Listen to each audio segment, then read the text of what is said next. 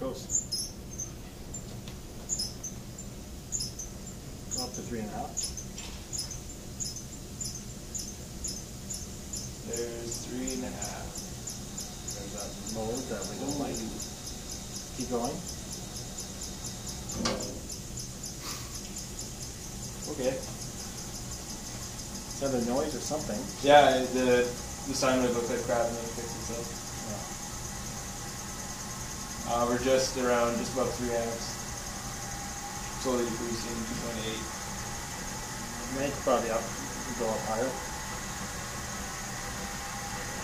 Back up to three. And then at max speed. Gonna film everything else. Should I? Let's see if I can get a tach reading.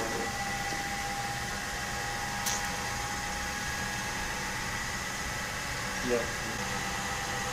Twelve hundred RPM. And then let go. And you should hold it. Yeah. Twelve seventy. A little closer. Yeah. Sweet cinematography skill. Yeah. Cool. So let's lower it a little bit. Get some lens flare in there. Lens flare, yeah.